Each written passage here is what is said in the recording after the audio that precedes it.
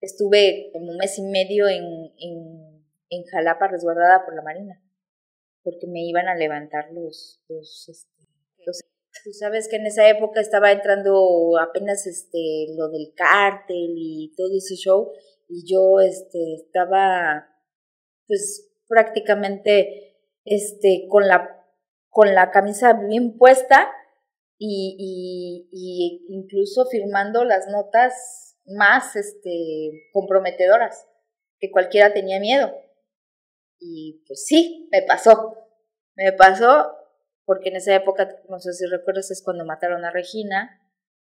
y después este, está el conato de, de ataque hacia mí, que incluso ni los medios lo publicaron en el, el, el, mero día.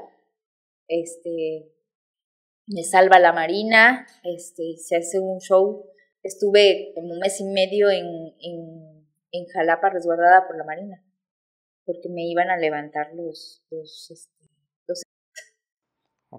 ya yo ya me eché la S sin que me hayan preguntado, pero es que creo que ese, ese fue también un tema, que a veces ya se me olvidó,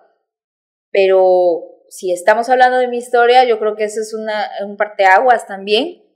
porque después de eso, pues ya este, me consolidé como, como,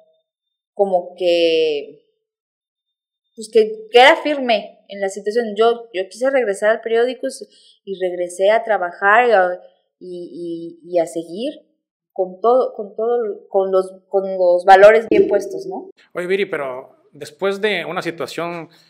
tan fuerte como esa, te quedan secuelas, te queda miedo, te queda algo. ¿Qué pasó después de eso contigo? ¿Cómo te sentías?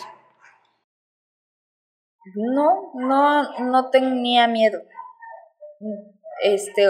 y tampoco era ignorancia, que no, que no estuviera yo consciente de las cosas, simplemente que tenía yo como que la convicción. Y tú sabes que, que y principalmente tú que estuviste más en, en el tema de policíaca,